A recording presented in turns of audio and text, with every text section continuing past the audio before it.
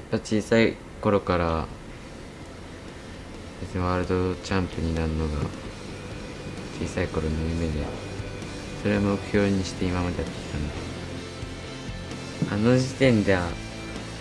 いくら高さ出しても勝てないっていうのは結構見えてたから技もなかったし Will Ayumu become the youngest medalist at Winter X Games? It's looking good at 14 years of age.